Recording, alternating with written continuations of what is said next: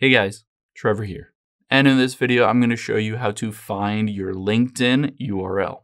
It's pretty quick and easy, so let's jump right in. Now let's open up the LinkedIn app here. You can do this on an iPhone or Android, or just go to linkedin.com as well. We're going to first navigate to your profile. So at the top left here, let's tap on the profile icon, and then we'll hit view profile.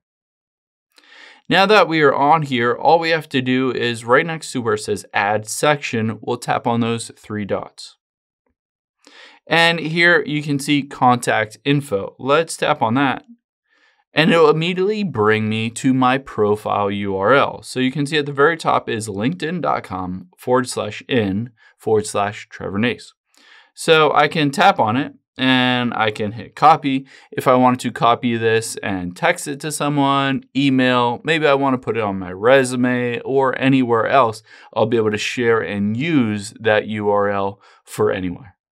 I hope this helps. If it did, hit the subscribe button down below. It really helps me out. And I'll catch you on the next one.